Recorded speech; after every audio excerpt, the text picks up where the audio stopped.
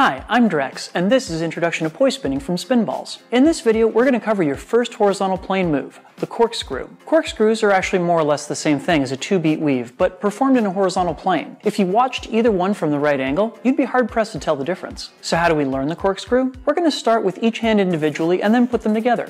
Put your hands at your sides and raise your right hand as though swatting a mosquito near your left ear, and let your hand pass behind your head before sweeping past your right ear, and finally returning it to your side. Now take one of your poi and shorten it up, holding the handle with your right hand and the head in your left.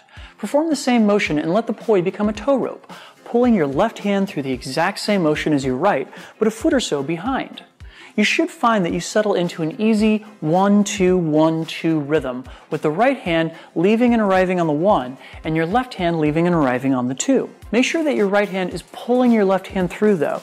Do not let your hands stay together through this motion, or you're going to have timing problems when you add the other poi into the picture. Now let's try it with both hands at the same time, each of them holding a poi.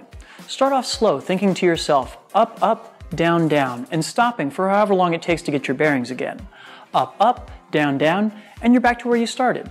As this gets to feel comfortable, try moving your hands much more rapidly through the pattern and keep it continuous, allowing the poi to pull outward from the handle rather than dragging beneath it. You may find you have to lean over on the bottom side of this trick depending upon how long your poi are compared to your arms. It's totally fine to do so, but you can also get around this by wrapping the poi around your hands to shorten them up a little bit. The most common problem people have in learning this move is that their poi wind up in together time rather than split time. This is usually caused by not having enough space between the right hand and the left hand as they perform this move. One way to solve this problem is to take the same exercise we did earlier, holding the poi with both hands, but to actively resist having the left hand moved. This will work to delay the left hand as much as possible, giving it more of a split time feel as it goes around both the top and the bottom. Corkscrews make for a great dynamic contrast with many of the wheel and wall plane moves that we've learned in other videos. They look much more three-dimensional to your audience and can create visually dazzling spiral patterns in midair. Thanks so much for watching. Now show us what you can do.